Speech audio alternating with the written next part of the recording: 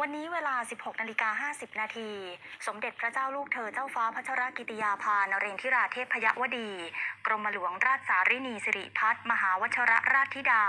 องค์ประธานกรรมการมูลนิธิอาสาเพื่อนพึ่งพายามยากสภากาชาติไทย เสด็จออกพร้อมด้วย พระเจ้าวรวงเธอ พระองค์เจ้าโสมสวลี กรมหมื่นสุทธนารีนาถองค์นายกกิตติมศักดิ์ตลอดชีพ มูลนิธิอาสาเพื่อนพึ่งพายามยากสภากาชาติไทย ณชั้น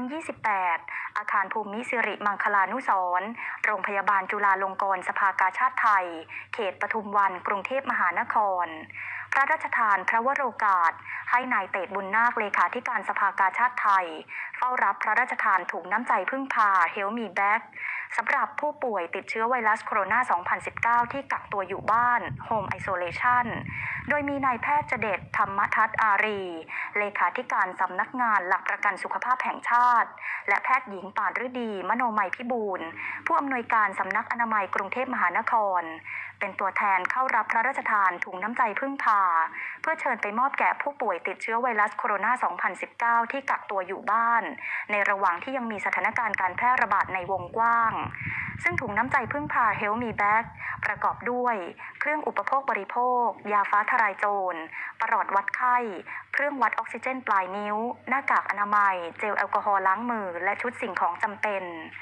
ทั้งนี้ตั้งแต่มีสถานการณ์การแพร่ระบาดของโรคติดเชื้อไวรัสโคโรนา 2019 มูลนิธิอาสาเพื่อนพึ่งพายามยากสภากาชาติไทย ได้มีส่วนร่วมดำเนินการให้ความช่วยเหลือ จัดอาหารปรุงสุกพร้อมรับประทาน มอบแก่ประชาชนในชุมชนต่างๆ และที่พักคนงานในหลายพื้นที่ รวมทั้งอุดหนุนอาหารจากผู้ประกอบการรายเล็ก เพื่อเป็นการช่วยเหลือให้ร้านค้าต่างๆ มีรายได้ในการดำเนินการ พร้อมทั้งช่วยเหลือประชาชนที่ได้รับความเดือดร้อน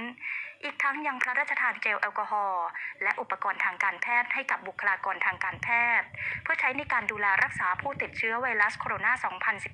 2019 และเป็นขวัญกำลังใจในการปฏิบัติหน้าที่ เพื่อควบคุมและป้องกันการแพร่ระบาดของโรคต่อไป